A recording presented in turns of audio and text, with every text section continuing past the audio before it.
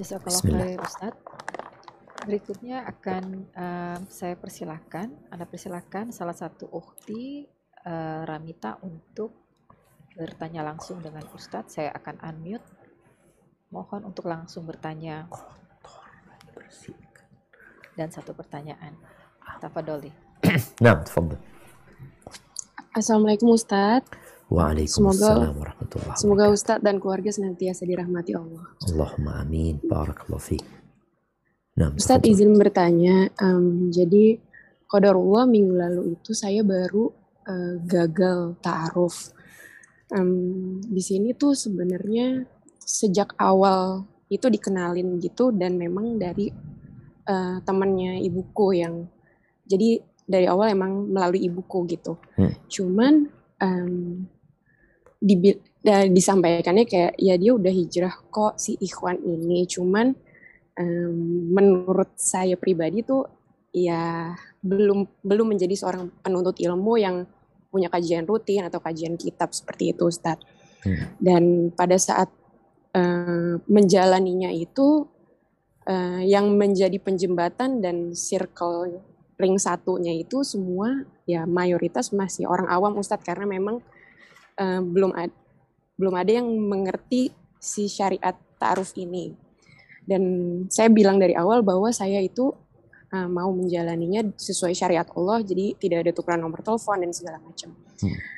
Sampai akhirnya ya di, di perjalanan itu ternyata yang tadi Ustadz bilang nggak sukufu, perlahan-lahan saya merasakan itu dan ternyata berat sekali di saat menjalani itu. Kayak mungkin pada saat dulu saya hijrah begitu mengenal sunnah saya mundur perlahan. Ini saya merasa berkali-kali lipat lagi lebih berat dari itu karena mungkin ada faktor orang tua yang ya kan dia baik dia kan sholat sesimpel standar ya orang standar orang tua di Indonesia lah Ustadz sholat puasa bisa baca Al-Quran gitu.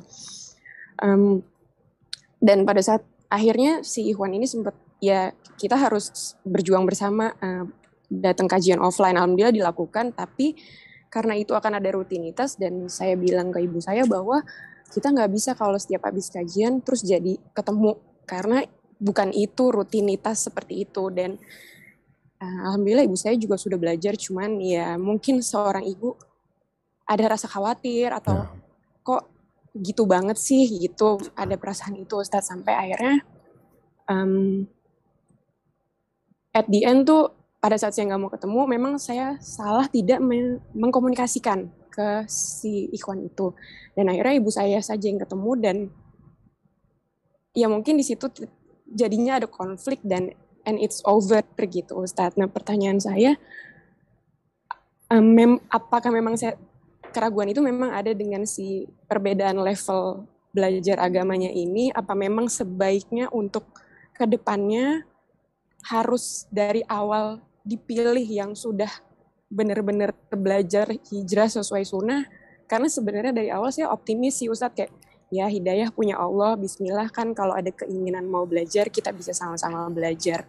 Hmm. karena dia bertanya dua kali sih ke saya kalau punya pasangan yang eh, lev- eh, agamanya di bawah gimana pertama saya masih optimis pas kedua mulai timbul kegalauan itu Nah, Ustadz nah. Eh, mohon penjelasannya Ustadz terima kasih jazakallah Masya Allah. Barakallahu. Ya, hibati fillah. Menetapkan seorang pasangan hidup ini perlu perjuangan. Dan semoga langkah anti tadi adalah langkah yang sudah tepat ya. Tatkala berusaha untuk mencari yang terbaik. Anti tidak memikirkan tentang harta, bukan tentang pekerjaan, tapi adalah masalah ketaatan kepada Allah Azza wa Jal. Karena yang ditakutkan nanti yang akan menjadi pemimpin itu adalah dia. Yang akan menjadi pemimpin itu adalah seorang suami yang akan mengatur istrinya. Yang akan melarang istrinya untuk melakukan ini dan itu. Kalau ternyata memang dia belum hijrah, maka berat. Tapi kalau dia sedang proses hijrah, maka insya Allah aman. Dia hijrahnya itu bukan karena anti. Kan Nabi SAW menyebutkan barang siapa yang hijrahnya karena perempuan, ya, ya dapat perempuan itu gitu. Tapi kalau hijrahnya karena Allah dan Rasulnya, perempuan dia akan dapat. Harta dia akan dapat. Karena dia hijrahnya lillahi ta'ala. Maka kalau tadi dia hadir kajian rutin karena anti. Yang ditakutkan setelah memiliki anti, selesai sudah. Karena tujuannya sudah dia dapatkan. Maka ke depannya anak rasa ya kalau bisa mendapatkan yang sudah ngaji Alhamdulillah. Tapi kalau yang sedang proses pun nggak ada masalah asalkan tadi dia sudah berproses hijrah bukan karena anti. Memang dia sudah jalan hijrah. Dan insya Allah itu akan menjadi hal yang terbaik ketika orang sama-sama punya niat baik. Kadang-kadang berpikir seperti tadi, mungkin Ustadz, Anda bisa bimbing dia. Betul. Mungkin. Mungkin iya, mungkin tidak.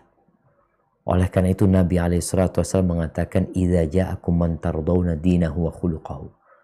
Apabila datang kepada kalian seorang laki-laki yang kalian ridhoi agama dan akhlaknya. Hablum minallahnya bagus, hablum minanasnya bagus. Ini orang baik. Maka nikahin dia memang ada minimal. Minimal orang ini adalah orang yang melaksanakan kewajiban yang meninggalkan yang haram. Itu kalau bicara agama. Kalau bicara akhlak, maka bicara bagaimana hubungan dia sama orang tuanya. Bagaimana hubungan dia dengan adik-adiknya. Bagaimana dia ke samping, bagaimana dia ke atas, bagaimana dia ke bawah. Ketika dia orang yang baik, maka bismillah. Walaupun secara ilmu mungkin nanti lebih dulu hijrahnya. Tapi dia orang yang benar-benar niat untuk untuk menjadi lebih baik. Jadi tidak ada masalah insya Allah ya. Seperti itu.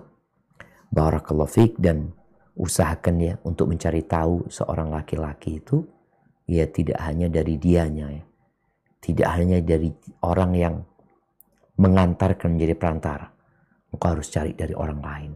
Tanya tentang dia dari kawan-kawannya, di tempat kerjanya, di masjid tempat dia sholat sehingga kita benar-benar punya gambaran yang cukup tentang laki-laki tersebut. Barakallahu fikna.